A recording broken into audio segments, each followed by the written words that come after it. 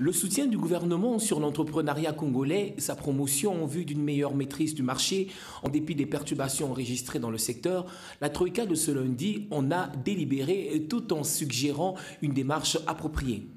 Nous avions envisagé la possibilité pour le gouvernement de, soutenir certains de nos compatriotes euh, euh, congolais pour qu'ils reviennent euh, dans ce secteur afin qu'à travers eux, nous puissions avoir euh, de manière progressive une meilleure maîtrise euh, de, ces marchés.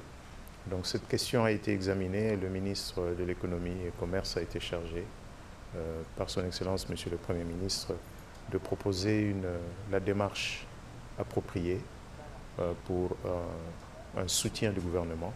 une première ébauche de l'avant-projet est disponible il sera examiné dans les tout prochains jours de manière à ce que le gouvernement puisse le déposer au Parlement, comme d'ailleurs souhaité euh, par le chef de l'État.